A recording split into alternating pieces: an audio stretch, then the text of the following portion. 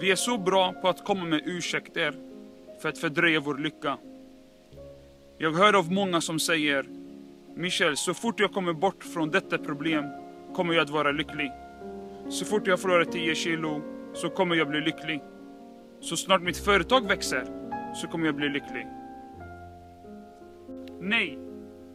Om du inte sätter ner foten och bestämmer dig att vara lycklig just nu så kommer det alltid finnas något att vara olycklig över.